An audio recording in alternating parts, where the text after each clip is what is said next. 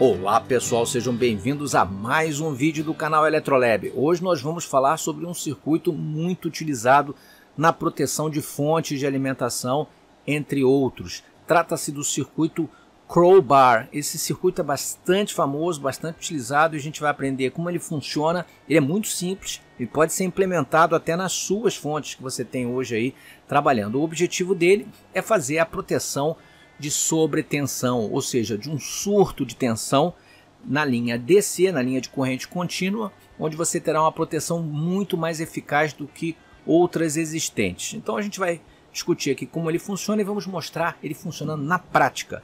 Ok, pessoal? Então vamos lá. Existem várias topologias para construir um circuito de proteção do tipo crowbar.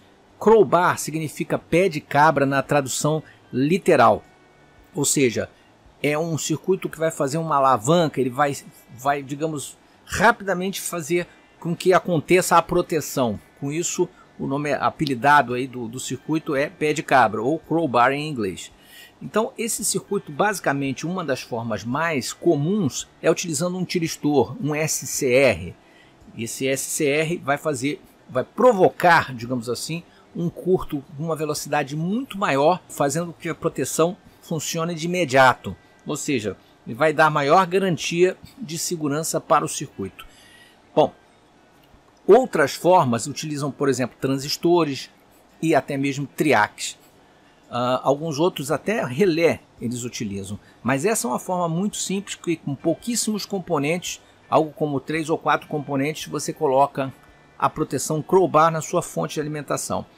Existe também a versão para AC, mas a versão para AC é usada em algumas poucas situações, já que existem outros métodos de, prote de proteção contra transientes e sobretensão em AC, como por exemplo o uso de varistores, entre outros. Né?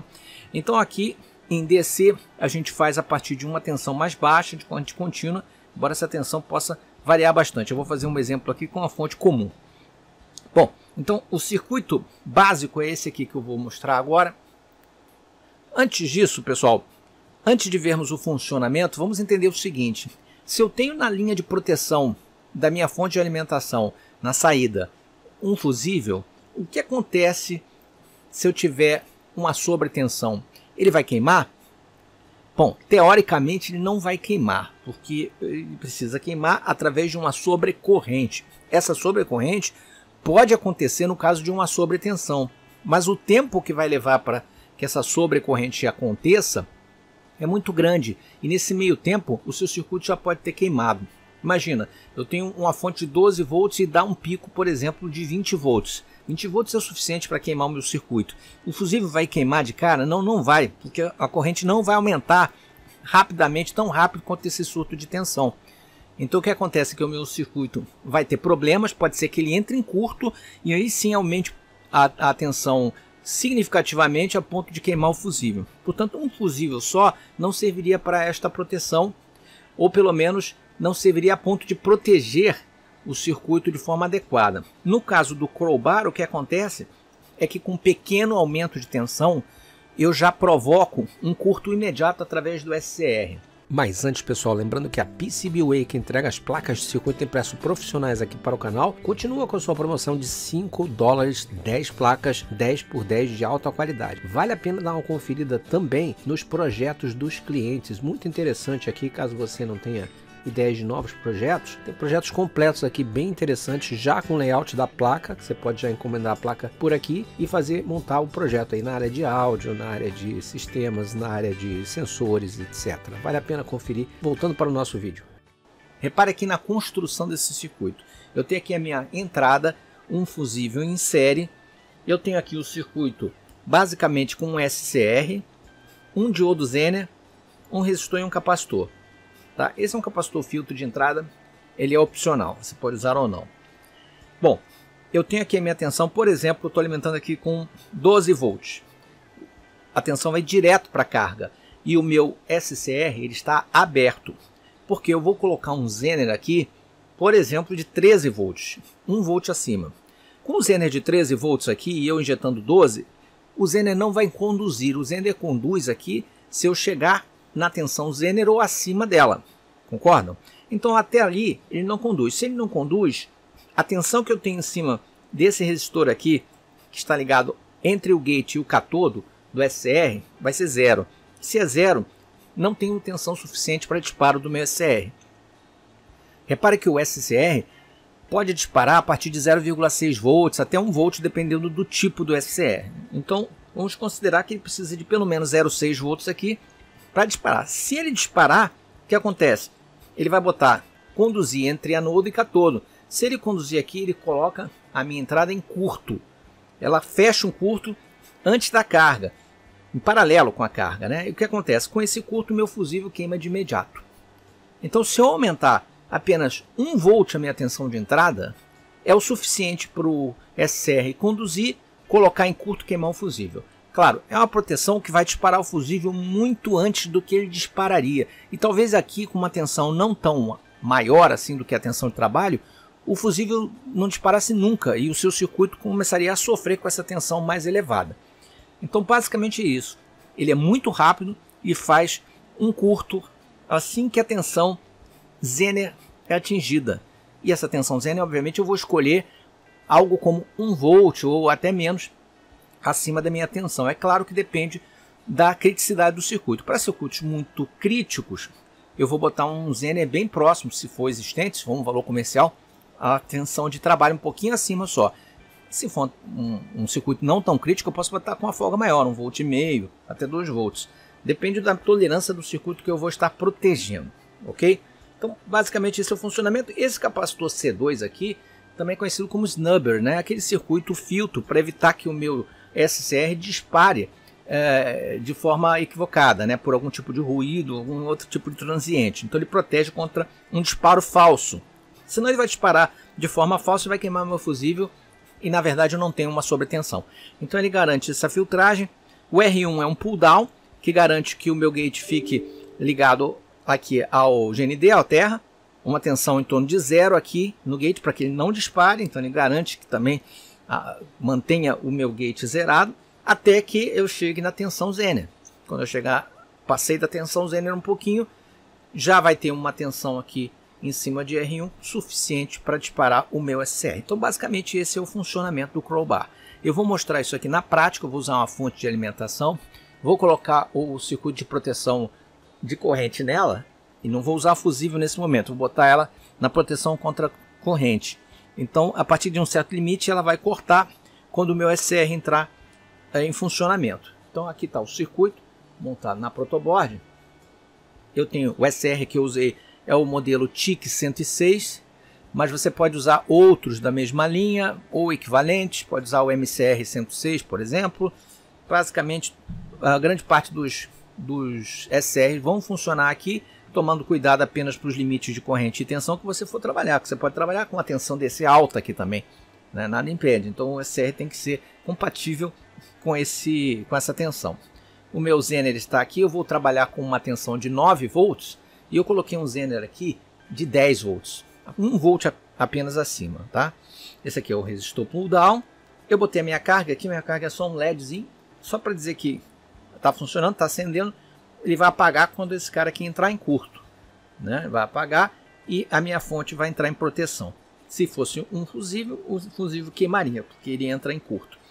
Bom, o circuito está aqui, a minha fonte é essa daqui, está com 9 volts.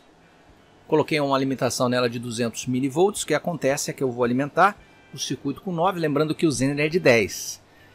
Então eu vou aumentar gradualmente essa tensão até que a gente atinja a tensão Zener, um pouco acima da tensão Zener ele vai conduzir e conduzindo ele vai acionar o SCR que vai colocar em curto e a fonte vai acionar a proteção. Se fosse um fusível, o fusível partiria, a gente pode até fazer esse teste depois.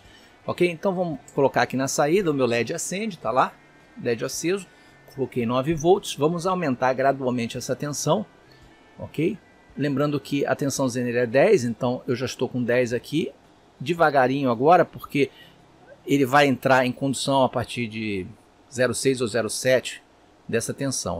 10,5, 10,6 entrou em proteção, apagou a carga. O meu SCR colocou em curto. Aí ele cortou a fonte, apagou o LED e a proteção aconteceu. Ok? Eu vou fazer novamente, vamos desligar aqui.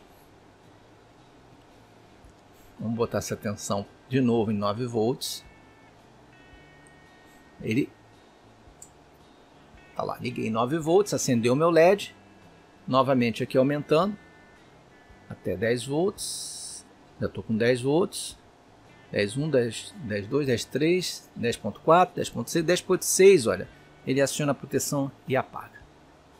Tá? Como é que isso acontece? Isso acontece porque eu consigo chegar a minha tensão de gate em torno de 0,6 volts, mais ou menos 0,7, que é a tensão de disparo do meu SCR. Para saber isso, a gente vai colocar agora o voltímetro aqui em cima do R1, para medir justamente essa tensão que nós temos aqui em cima desse resistor. Então vamos acompanhar. A gente não vai conseguir chegar a ver o 06, 07, porque ele vai entrar em curto e imediatamente vai a zero. Mas vamos ver quão perto a gente chega disso. Tá? Estou colocando aqui o meu voltímetro na escala de DC. Bom, agora vamos medir então a tensão em cima do resistor para ver o ponto de disparo do SCR, que vai ser um pouquinho antes de 0,7 volts, por volta de 0,6 volts. A gente não vai enxergar porque ele vai entrar em, em, curto antes disso, mas a gente vai ver a, tensão crescendo até bem perto do 0,5, 0,6, ok? Então vamos lá. Vamos colocar aqui os 9 volts, minha carga ligou. E aqui eu estou medindo em paralelo com o resistor. Agora eu vou subir essa tensão gradualmente. Vamos até 10 direto aqui, que a gente sabe que até 10 não vai disparar, com o Zen é de 10, né? E olha, já começa a aparecer alguma tensão lá, 10.10, 10.20, 10.30, estou com 0,3 volts, não é suficiente para disparar o SCR. Desligou aqui sem querer, vamos lá, 10.40, 10.50, estou com 0,5, mais um ponto ele vai disparar, 10.60 disparou, zerou aqui, que é justamente mais ou menos um 0,6 ali, acima dos 10 volts, que é a tensão de disparo do meu circuito. Ok?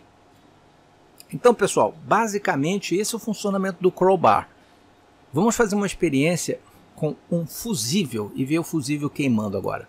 Bom, pessoal, agora nós vamos fazer o teste com fusível, como se fosse na prática. Vamos que a fonte não tivesse nenhum tipo de proteção contra sobrecorrente. A gente coloca um fusível, porque o circuito completo é com fusível. Ele vai romper no caso de uma sobretensão, o que não é o padrão do fusível, que a gente sabe que ele rompe por sobrecorrente. Mas o que vai acontecer é que a sobretensão vai colocar o meu SCR para conduzir entre o positivo e o negativo, colocando em curto e jogando uma corrente altíssima e com isso rompendo o fusível. Ok? Então vamos lá. Vamos ligar aqui. Dessa vez eu coloquei a minha fonte com uma corrente máxima para que ela não pare antes do fusível. Colocamos os 9 volts, está lá o meu LED aceso. Vou começar a subir a tensão.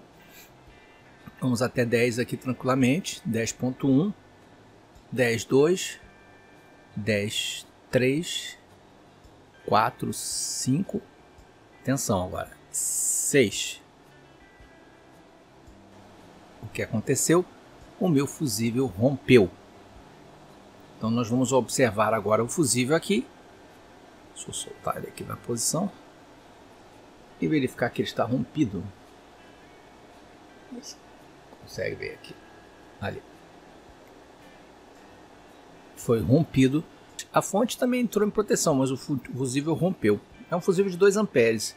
não tinha um menor aqui para colocar na hora, mas um menor obviamente romperia mais rápido. Então, é esse basicamente o funcionamento do circuito crowbar. Espero que tenha ficado claro aí o entendimento do funcionamento dele. É bem simples, com pouquíssimos componentes, nós conseguimos realizar essa proteção de alto nível e muito rápida. Ok, pessoal? Espero que vocês tenham gostado aí desse novo circuitinho. Se gostarem, clique no like, não deixe de se inscrever no canal, marcar o sininho para notificações e até o próximo vídeo. Um grande abraço.